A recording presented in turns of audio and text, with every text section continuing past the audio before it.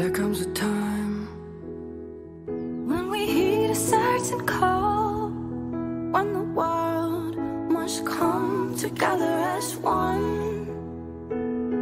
There are people dying. Oh, and it's time to lend a hand to life, the greatest gift of all.